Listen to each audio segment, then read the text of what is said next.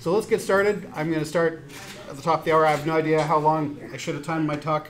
I might be running late, so I want to get all the minutes I can. So this talk, the title here is better than the one on the on the on the, um, schedule. It says defending against out of out of management BMC attacks, which makes a little more sense. Um, uh, if you haven't had a chance to read this, this is uh, the initial summary of the problem by one of the first security researchers who was looking at these chips a few years ago and said, wow, this is just a terrible situation. Um, so hopefully most people have read that because I've had it up on the display for a while. I don't want to read that to you, but. so the agenda is um, we're going to be covering the concepts of, of baseboard management controllers and lights out management, and then talking about some of the technology involved, the, the chips and the uh, protocols. And um, so you have a better idea of what's happening in the system so you can start to, then, then the goal here is we're focusing on defending yourself. So you're an end user of one of these machines. You're not a vendor building a machine, but you're an end user who has a machine you want to protect, or you're a sysadmin who has a fleet of machines you need to protect. Uh, most of these concepts apply to servers, so they're more, it's more interesting for sysadmins, but a few of these are on desktops, so an end user might have to worry about this as well. Uh, so we're going to talk the most about IPMI and Redfish. Uh, some of these other technologies we'll just mention to understand what's needed. Uh, IPMI++ is a term by the person who wrote that other quote, Dan Farmer. He kind of lumps in all of the post-IPMI value-added um, features um, that vendors are doing. Uh, that was back before Redfish, so I guess I could call this stuff now Redfish++ in the current era. And uh, these are the people that, that have written the research. I'm not, I didn't invent this research. Uh, Dan Farmer did a lot of it. H.D. Moore came along later, and then most of the rest of these authors. So Dan and H.D. Moore did stuff around 2013 for IPMI. Most of the rest of this stuff came uh, last year. So it's kind of a spike in BMC attacks. So that's another reason why you should be more concerned about this. There's an increase in security research attacking these things, so you need to be more careful about defending against them.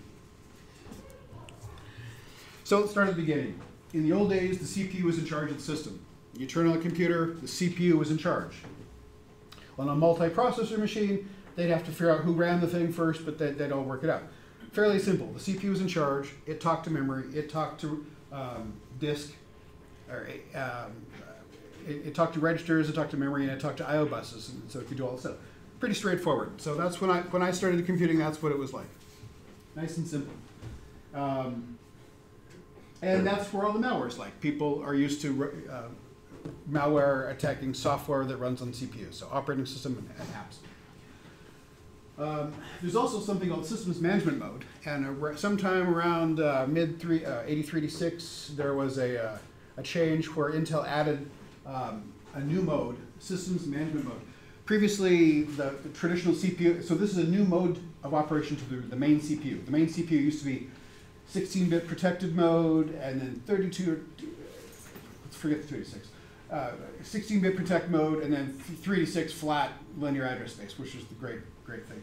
Um, then there was this new mode called management mode, where if there was a system, systems management interrupt, it would leave the regular CPU operation and go into this other mode, management mode, where, where uh, only special code that would run in, in, in systems management interrupts and knew about that systems management space has access to. So um, this is also an interesting place for malware to hide now because if you're if you're an SMM, you get you can see everything the CPU can do, but you you're basically invisible to the CPU. So it's a great place for malware to hide.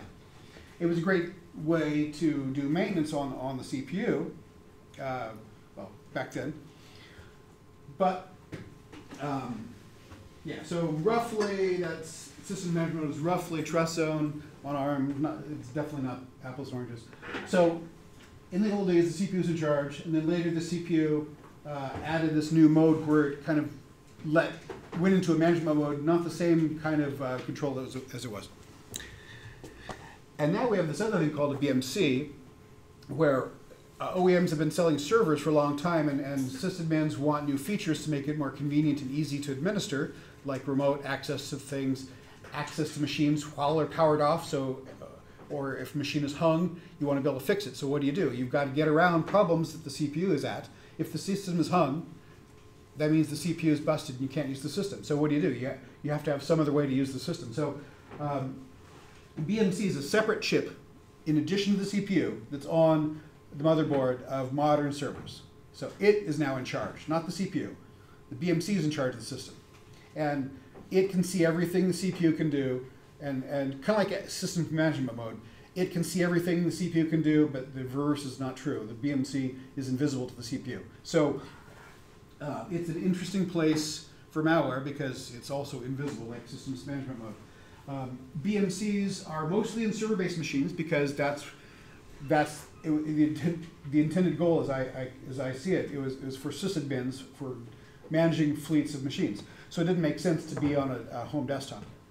However, there are some solutions we'll see later that have this BMC or BMC-like technology on desktop machines. So uh, you might have a machine, some like some ThinkPads in the room here, our business quality, business class uh, laptops.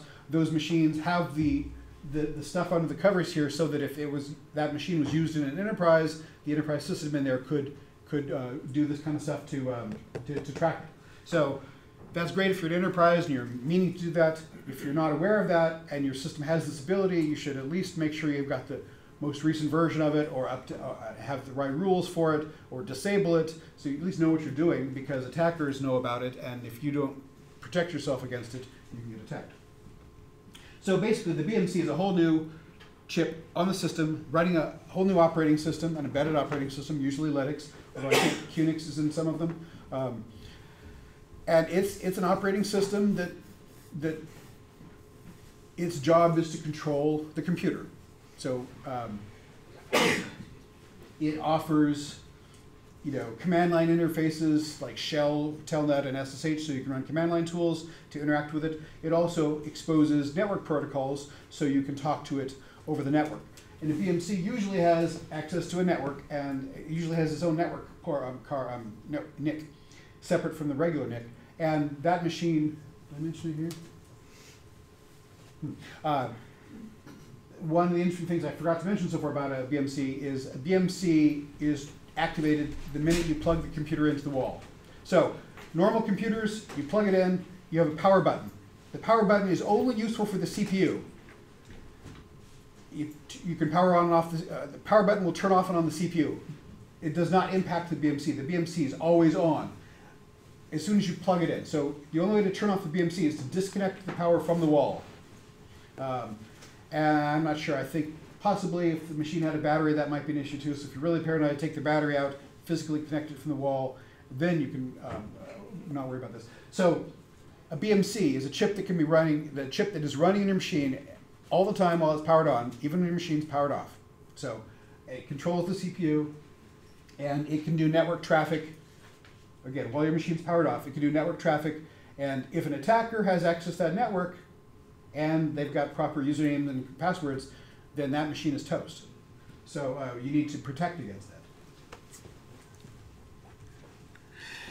So that was BMC.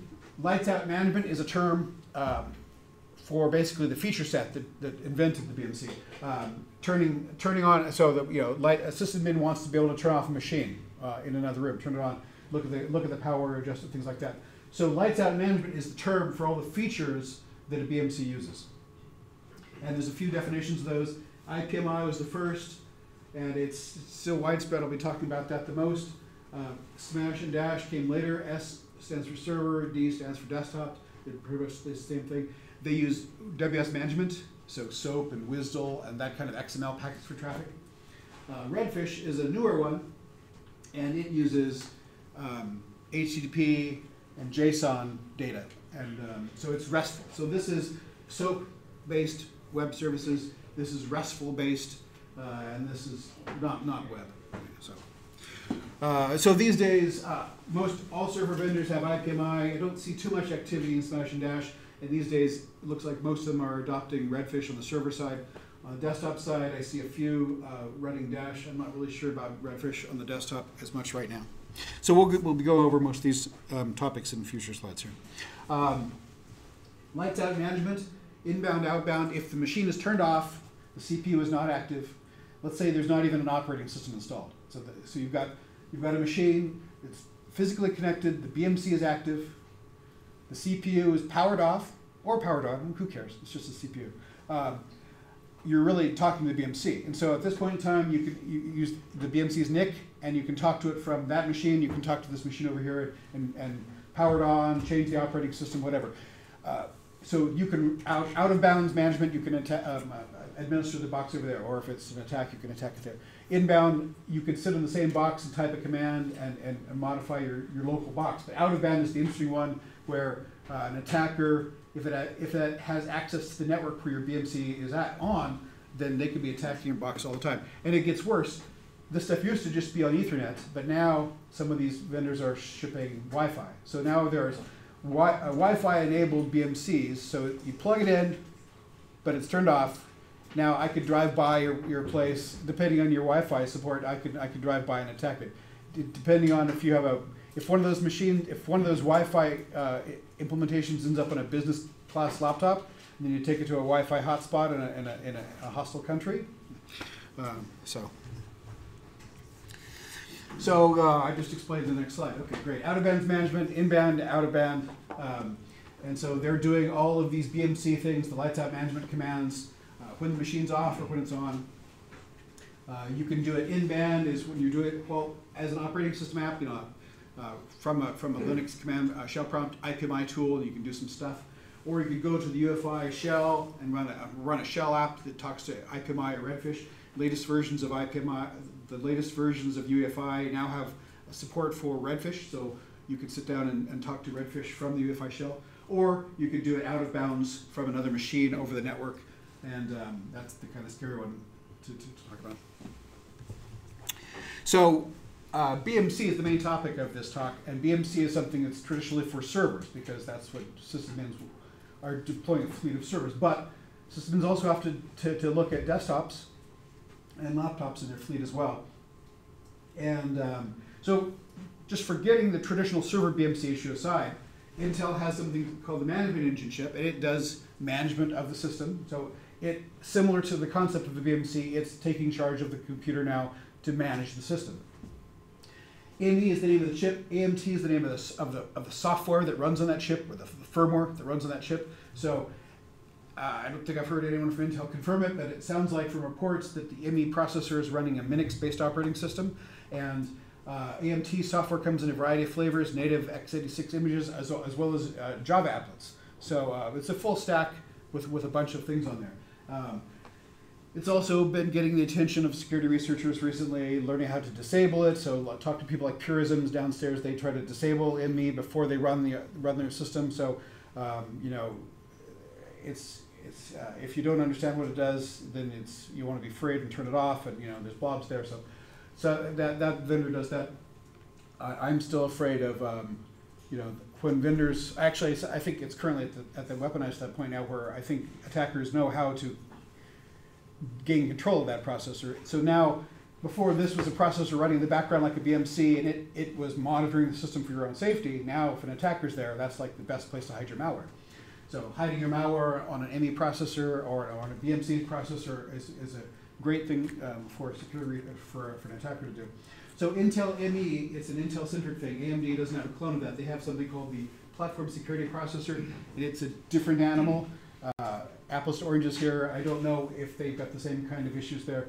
But Management Engine does have some LOM style functionality. It doesn't, doesn't appear to be designed as, as a strictly a LOM chip, but there are apps that you can run, AMT apps that help sysadmins uh, deploy, uh, uh, help manage a fleet. So, so takeaway with this is BMC is on all the big servers out there, but the ME chip is on all the Intel processors out there. So basically, all, all the Intel processors that are running here, except a few of them that are running, you know, running. If you've got a Purism box, maybe they've disabled it. Or, um, so, uh, and I don't know about. Uh, so Apple has a T2 processor. It's a security processor now. Yes, question. Yeah, so does the BMC sit on the motherboard and then the ME sits inside the actual processor chip? Uh, ME is a separate chip from the CPU, and the BMCs, as I understand it, usually sit on the motherboard, but they can also sit on some PCI uh, interface. Uh, usually it's a proprietary slot card interface. Uh, Sounds that's like- mostly gone away. They're mostly just built in now. Okay. Yeah. Um, So Apple has a new T2 security processor, or the newer newer books for the help with security. So that means now on an Apple box, it's got a CPU, it's got an Intel ME processor, which I've heard various reports that they say they use or they don't use, but it's there. Um, so it's, I'm not sure how much they use AMT, and now they have a T2 processor. So you know, in the old days there was a CPU. Now on an Apple there's a there's a there's a ME and there's a T2 and there's the CPU. It gets complex now, and each of these are operating system has their own operating system, a stack of apps. The bad news is in the old days these embedded systems were not secure, and so they're like you know like you see today when security researchers are enjoy attacking IoT devices because they're you know about as secure as machines in the 90s. Early uh, early BMC chips were about as secure. Now things are getting better, but still um, it's an issue.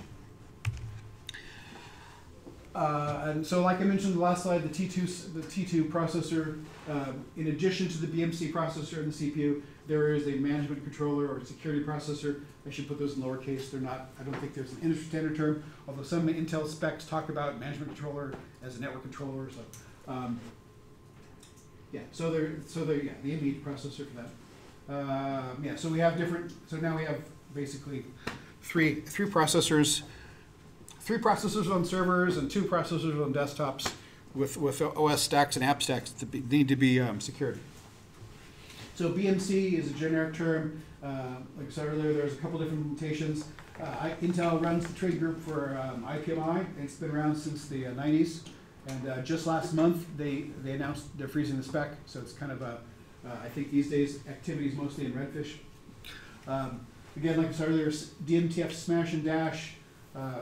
The Smash is for servers, dashes for desktops.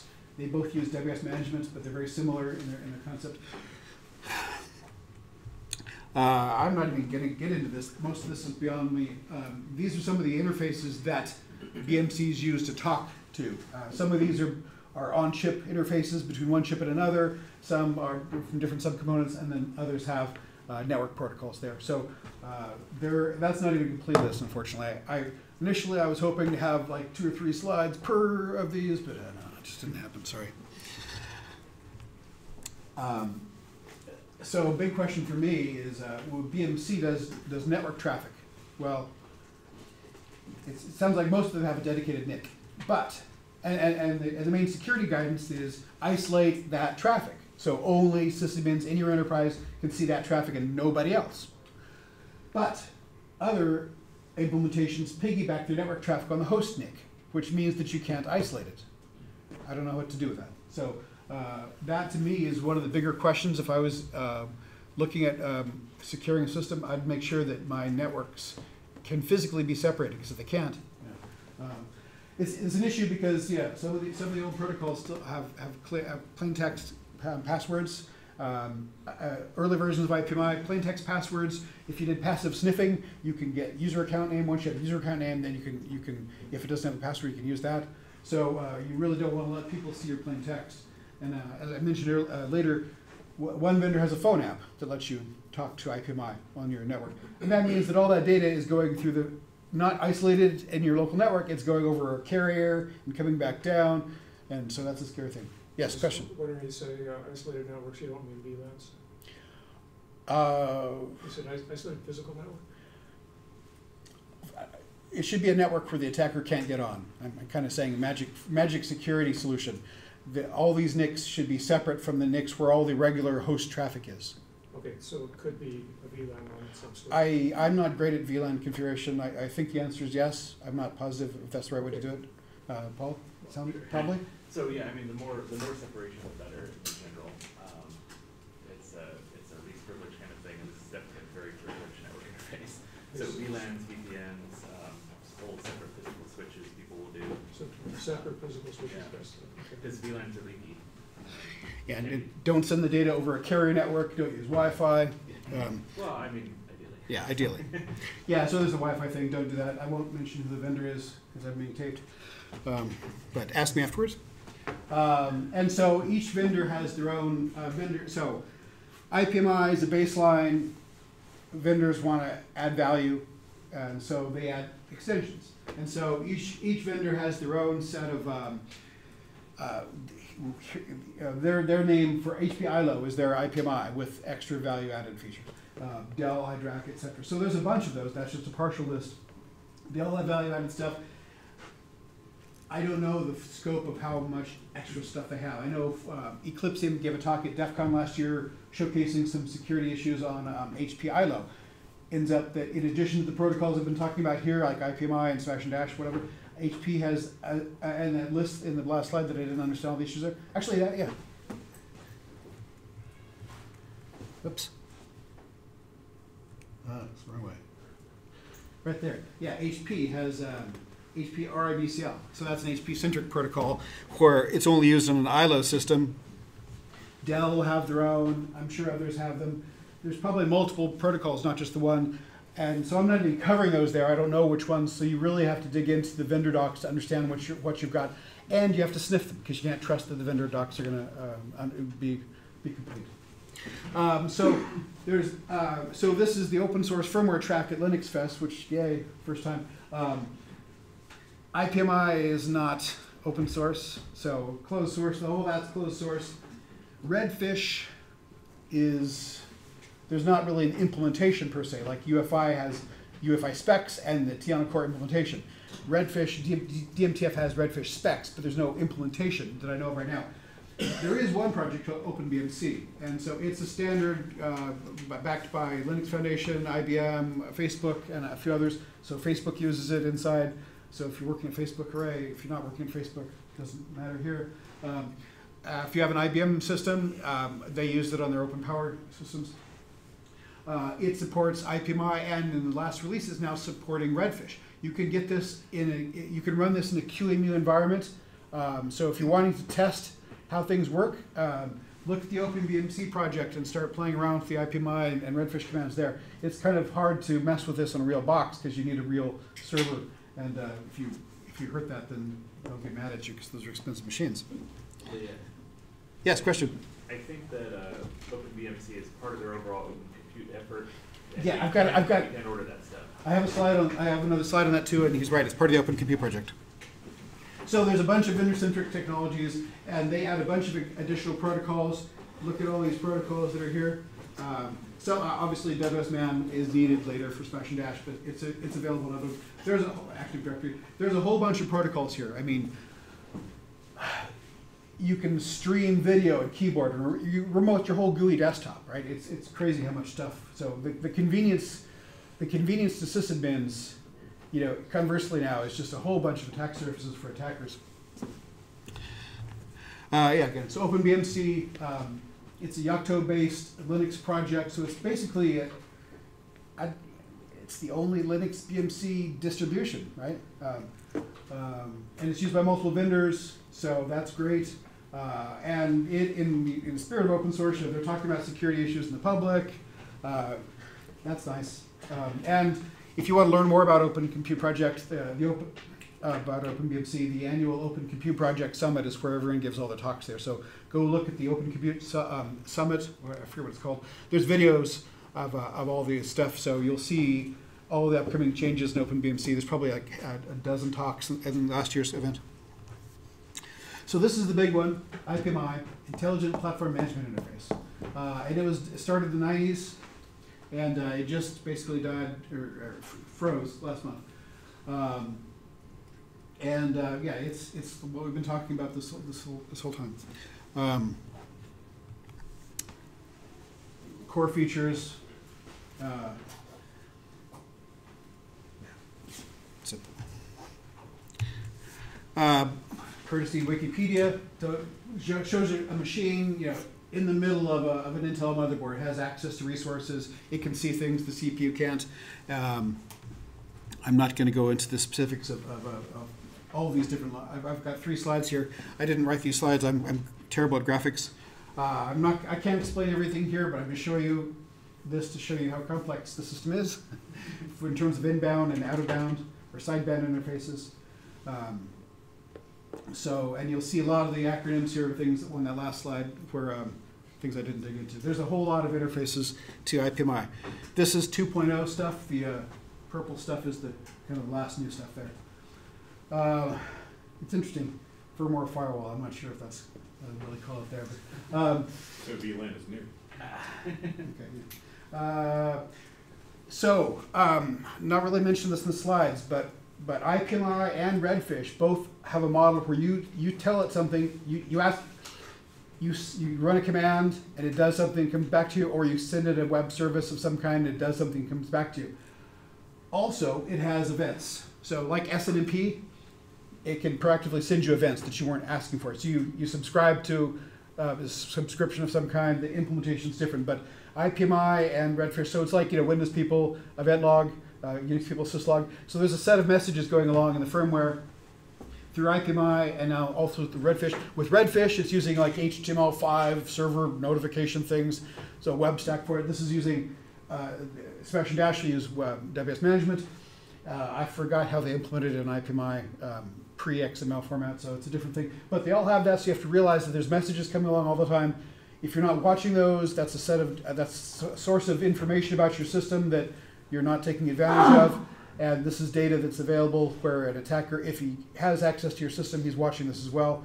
Uh, anyway, the events um, in the list of um, vendor-centric protocols added, SNMP was there. So um, you'll see SNMP interfaces to this stuff, um, and um, for IPMI. And later in Redfish, I forget the name of it, but there's an XML-based successor to SNMP, and um, um, one of the they kept changing the name so many things. There was an IETF thing, and Yang was one of the parts of it.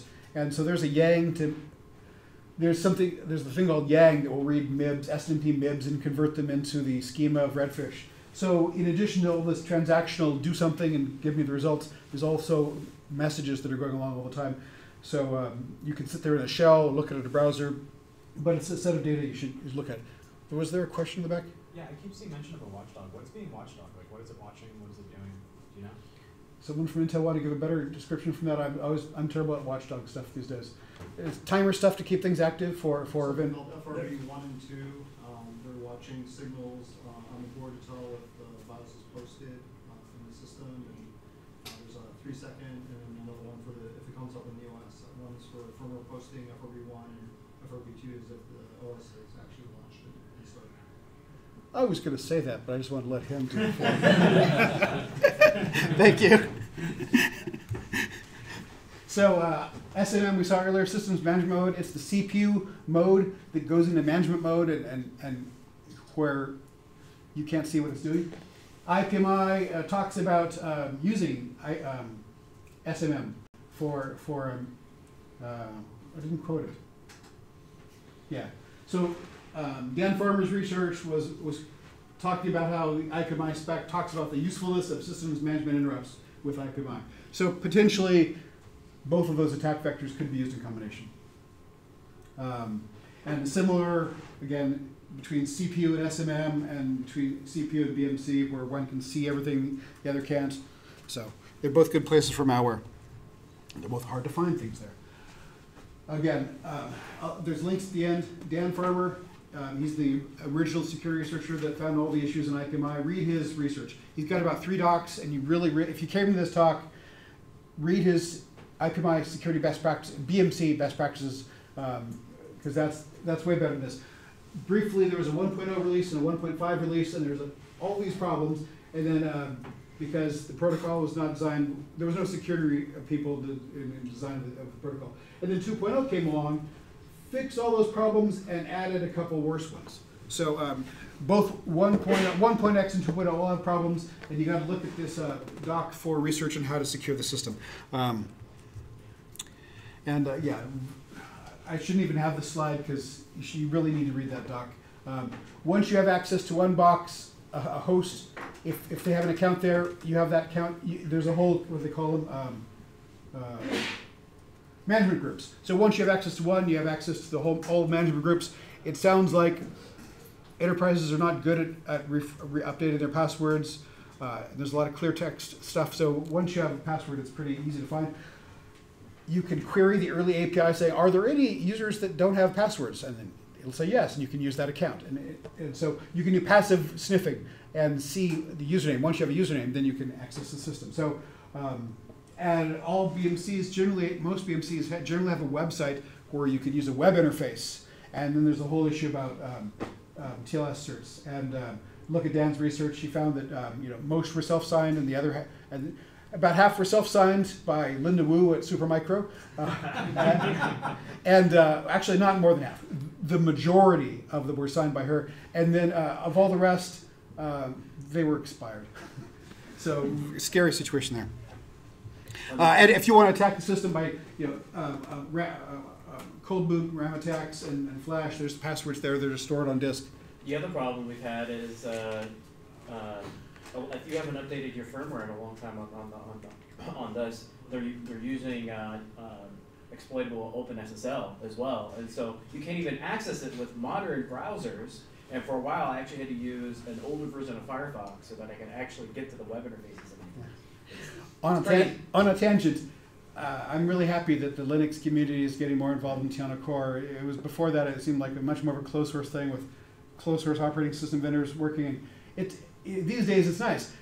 Uh, you, TianoCore needs OpenSSL for secure boot, and in the early days they were still using 0.9x for, like, after Heartbleed, and, and granted Heartbleed wasn't impacted there. But now they're finally tracking the latest releases. But it, before that, I was like a pain in the ass. I'd have to manually bug a few people there saying, hey, you're you know six months too late. The version of OpenSSL that you need to build TianoCore is no longer listed on the download page on OpenSSL. That's how that's how old it was. So WS management, everybody familiar with that? Anybody not familiar with WS management? SOAP, WSDL, XML, complex XML, patented XML, uh, uh, non-RESTful, complex, hard to use XML that pretty much nobody nobody embraced. Um, so that's what Smash and Dash were are are. I don't see much activity in Smash. Dash they just updated their self their their certification tests last month too. So there's still people using that. Um, it looks like, from my perspective, that, that you know most of the vendors using Redfish on the server side. On the client side, I see some AMD um, systems from Lenovo and Dell using Dash. I don't see anyone else using it. I don't think I see any Intel-based systems using Dash. And I don't see any. I, I haven't been looking too closely for Smash, but I haven't seen much with Smash. But I believe that uh, if the system's got Smash, it's probably got Redfish on it now too. So. So uh, DevOps management is for Smash and Dash, and uh, Redfish doesn't use that, so I kind of don't care anymore. So there's Dash. Okay, so uh, um, yeah, same kind of stuff that that IPMI covered, but it did it with with with you know WS management XML, so that was a whole new thing, and um, and uh, same with Smash there's each of these IPMI, Smash, Dash, Redfish. There's a couple dozen specs for each. Each of them are dozens of pages to thousands of pages. So a lot of time to read them all. For Smash and Dash, there's a separate profile for each unit. There's a profile for the CPU. There's a pro- profile for motherboard. Dozens of docs for profiles. And for I'm getting ahead of myself. Um, for Smash and Dash, there was the web service interface and then the command line interface, so they had the specs for both. So, uh, WS, so WS management is kind of weird because WS management was a standard that was used for OS level stuff too, not just firmware. So, you know, Windows people were using WS management up, up in apps, and nothing to do with firmware, but also it could be used in firmware. So Redfish is the is the is the current one. So, uh, what I'd say takeaway here is that most people use IPMI, and now they have Redfish on top of it for their servers. Um, so I'd say pay attention to make sure you've got your IPMI secure and uh, look into if you're using Redfish. And if you have an old system that's just using IPMI, see if you can get an update that has Redfish. Most of the big vendors have Redfish implementations on top of their IPMI and ILO and iDRACs and all that. And so generally, newer stuff has more bug fixes. So the big thing about Redfish, it's using, so they were using WS management, and now the industry has gone beyond WSDL and, and, and SOAP, and so they like RESTful JSON. So that's what this is. So same kind of thing now with JSON and, and RESTful interfaces. It's not just JSON, they use OData. Eh. OData and JSON have schemas, and so um, they've got there's some standard schemas that all vendors should supply uh, support, and then each vendor can add their own schema. So HP has their own schema to support things, and, and uh, Supermicro, so you can have their own there. And and um, now you can use the, the Redfish Trade Group says now you can just defer to the industry standard for security for web stuff and and tools. So you can use your browser and presumably go to OWASP and secure your system.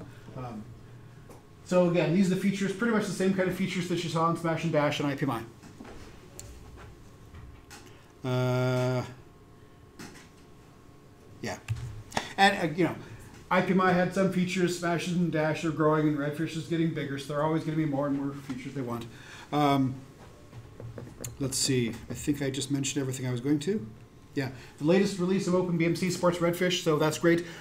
DMTF uh, in the next slide. Um, so the way uh, Redfish works is everything's an URL URI. Um, so example.org slash redfish slash v1, and then all your stuff happens after that. Later, when they get v2 of the spec, you'll put that there. So you put your host name and then and that, and uh, and then there's you know there's a bunch of there you know it's the traditional modern schema based thing. It kind of reminds me of a, the Windows registry in the early days when they're trying to have nouns and verbs for everything, and it's the same kind of stuff. Um, and they're they're getting trickier each time. So um, let's see. So multiple ways to view things, and so you can see all of these or view it in different ways. Um, it means that if you're an attacker, you have to know JSON, JSON schema, and OData version 4, and all of its nuances to, to properly fuzz it. And as a sysadmin, you got to know these kind of tools as well. And if you're defending the system, you have to know that as well. The Redfish spec has multiple pages saying we require these HTTP headers. On this one, we do this, and this response, we do that. And that's the thing that you got. People have to sit down and, uh, make sure they've got um, hardened. More about that later. These are the tools the Redfish project has on GitHub. They're open source. Um, you see a lot of simulators and emulators. Uh, those are not really that useful to me. Um, all they do is like a web front end to a schema. So it reads the JSON schema, the JSON, the default Redfish schemas, and then presents a view of that, which is you know kind of useless. Um, I mean, it's it's helpful if you're a vendor and you're getting started, but it doesn't show anything useful. If you want to play with it, play with a useful uh, actual implementation, go grab um, OpenBMC, their QEMU image, and then you can actually test a real working thing. Uh, but these are good if you're building schemas and testing schemas, and, and, and they're good for vendors that are getting things going. Uh, Redfish tool, command line tool is useful. Uh, Mockup server is useful in that it grabs, it sucks down everything uh, once. So Redfish tool for interactive things, kind of like IPMI tool in the old days. Um, an event listener sample, uh, Yang. So yeah, so the, the um, schema validation. So if you're if you're using Redfish, you should you could you could use the schema validation tools to make sure that your vendor is not shipping broken schemas. Open source. The the main language they use is C and Python. Um, external companies, uh, external projects. There's a little bit in Rust, Go, and C Sharp and Ruby. Um, yeah, but mostly Python. Uh, Python, Redfish is the is the most um, is the most up to date library. So basically, uh, and I, I think the problem there is OData is kind of a pain in the uh, kind of a complex thing to fully support, and so um, um, you should really look at. Uh, I think the, the the blocking issue is going to have a full implementation of OData, and so if Python the Python library is good, I, I, outside of that, I'd probably stick with C Sharp because Microsoft likes OData, and that's going to be the best stack for it. I'd be worried about Ruby and Go and Rust. Uh, yeah, so this one uses those standards: SSDP, um, HTTP for alerts for for, for messages, uh, schemas. What this also means is they're deferring to these standards orgs for security. So you have to understand this, secure it using all those all these standards. And so they're assuming that web standardization is, is going to be easier to secure. Um, keep reading ahead of myself. Uh, yeah, but again, the, the current there's no current doc that describes redfish security best practices. There are security best practices docs like OWASP, but they don't cover the dozens of pages in the redfish spec saying if this happens, do this. If this happens, do that. Uh, so yeah, so I, I DMTF Redfish Working Group is deferring to the web community for security. I'm kind of saying I don't have anything great to show you for that. you need to defer that as well. But look at the Redfish spec that says, you know, when this HTTP error happens, expect this or do that. right? Uh, hopefully, someone will have some better results there. I'm, I'm working on something, but it's not ready yet. Uh, in terms of security tools for testing BMCs, uh, Metasploit uh, has a couple modules. IPMIPWN is basically a dupe of one of the Metasploit modules, so you don't need to mess with that. Um, general interface tools, IPMI tool, OpenI, OpenIPMI, and Free, Free IPMI have command line tools. Other ways to get to it. Hashcat and John Ripper understand IPMI centric password issues, so you can break you can break systems that. Uh, in later slide, there's some more research I'll point you to. That research uses this toolkit, which is it's tight, it's HP ILO centric, but it is a redfish based attack on their system. So it's using redfish to attack um, that system. So it's the only redfish redfish based attack that I know. Obviously, there's many vendor centric tools you can use, and these are new processors on the system, running operating system embedded stacks. So you can, depending on when you can get access to it, you can use traditional tools to it. You know, um,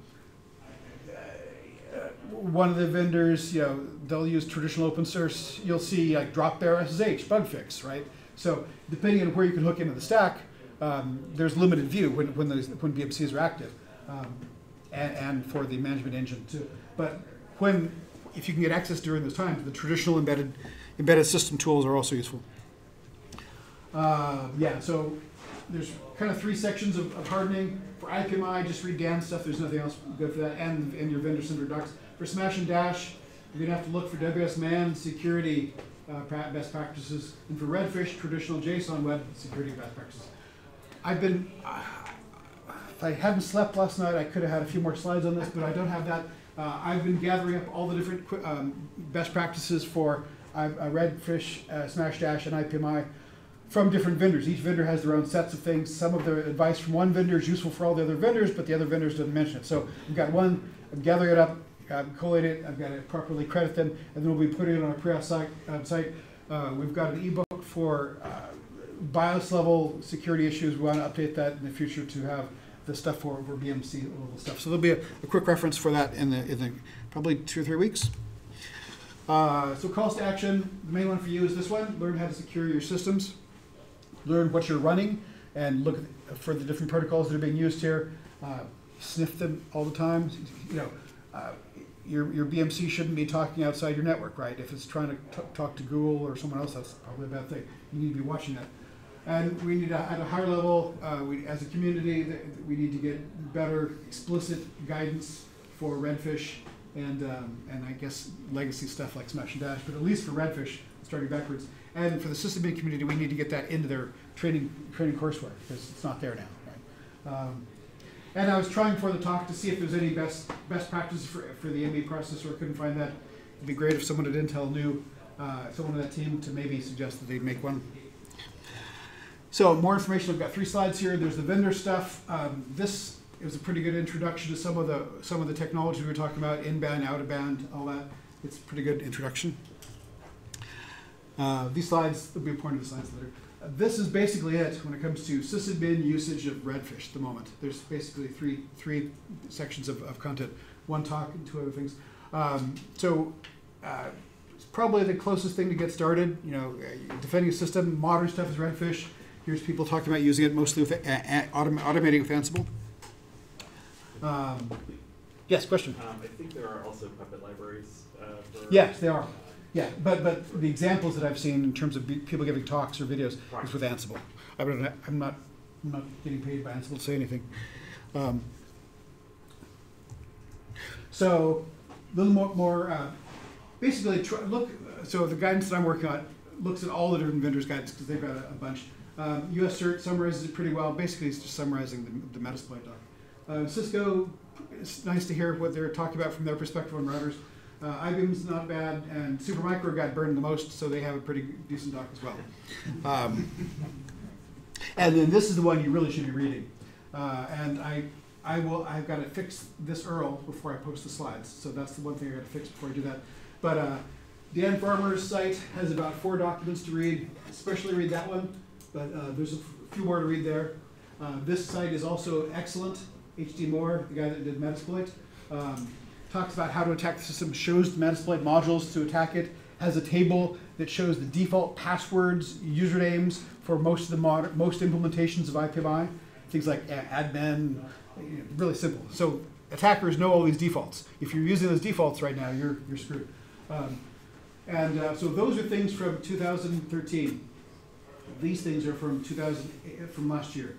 And uh, multiple ones are from the same author. You see this one, this one, yeah, this one. Uh, um, yeah, so there's a few by, by these guys, and there's one by them, and there's one by them. And, and this one, this tack, the remotely attacking system firmware, they talk about HP ILO issues, and that one protocol I mentioned earlier. And uh, Nico, uh, the Unbearable Lightness of BMC, does a pretty good job of, of summarizing the, the history beforehand, which I was trying to do here. So uh, this is also a good introduction to the history, and uh, this happened, this talk happened because of all the slew of other new things that are happening. So he's like, here's what happened in the past, here's all the new stuff, you need to worry about that. Right? So, um, um, and these, the names of all the people here are the people I put in the credits at the beginning because that's basically all I've been doing. All right, that's it for the thing. I will put uh, firmwaresecurity.com as our blog, and I'll have a pointer to these slides up on the blog. Um, two or three days. I got to mow tomorrow, and uh, I got to fix a couple URLs there, and then I'll put it online. So uh, that's it for this. Any questions? Any comments? Any criticisms?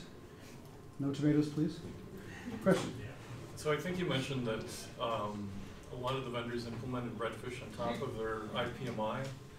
They have so they have each vendor has their own proprietary BMC distribution, and they it supported IPMI and maybe Smasher Dash, and now they're using Redfish.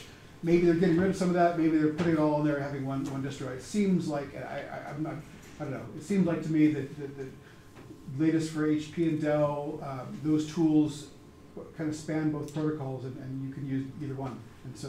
Um, So from a, from a security footprint uh, point of view, could, is it possible on these platforms to disable IPMI completely and just use Redfish and secure Redfish? I don't think so. I think you might be able to disable IPMI or BMC totally, but if you do that, you probably can't have it Redfish. You probably won't be able to do one or the other. Um, I don't have some of the fancy machines that have been tested there, so you'll, you'll probably be able to tell better than me. You can, you can turn off the IPMI network interface. Can But can you turn off IPMI and Redfish and enable Redfish? Yeah, well, you know, I don't know. typically new, you know, these new Redfish implementations still use IPMI behind the covers, right? They are tunneling essentially. But what, the world sees is, uh, you know, from an outside interface is Redfish, which is HTTPS. Port six twenty-three, Yeah, UDP port yeah, yeah. six twenty-three, which is RCMP for IPMI over LAN, you can turn that off, uh, and you can still do ILO over Redfish. I- Things like that, and at least lose that, you know, old, uh, network security that was built into It's a- RCMP and isn't getting developed. It's a great comment. If you think you have a brand new Redfish machine, try IPMI tool and look and see if you can find IPMI. If you do, that means you can't ignore IPMI anymore. You still have to harden it or try to disable it as well as using Redfish. And make sure that your vendor is turned off Cipher Zero. yeah, yeah, yeah, you Dan's, yeah. You got you got to read Dan's firmware. And put any password in. There's half a dozen things in IPMI that are insane. Um, um, you have to read advice. And there's a similar, there's, so there's a similar CVE for Intel ME, AMT, where for, since like mid 2000s up until like last year, the year before, the password code was never, never tested. So you could log in whatever you wanted and the password would, would work. So uh, update your firmware for that, absolutely. Uh, but that, that's a perfect example of why you need to make sure you're up to date or disabled. Because if that's, I mean, imagine that. That means in multiple years, Intel machines that are powered off, they could still be attacked if those, if, if, uh, if they were, and, and yeah. And, and, and go look on Shodan to see some of these protocols and see how widely they're being used. There's a couple really big companies that have stuff out there that's, you know, I, I used to have a, I used to have a, I switched my carrier because one of the carriers was, had such a bad example on Shodan. I can't see it right now. um, any other questions? Okay, well, I've got a bad bio sticker up front, and I've got some quick references for a, a tool called ChipSec, which is an open source firmware tool. It's not a BMC tool, but it's, it's to test that your UEFI firmware on your CPU. And um, I think um, Stefano has a sticker maybe for it, um, but I've got a quick reference to how to use it. Uh, I'll be around afterwards if you've got any other questions. Uh, so,